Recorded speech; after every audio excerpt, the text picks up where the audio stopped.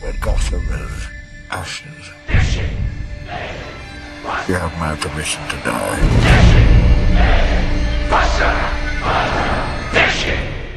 I will go back to Gotham and I will fight.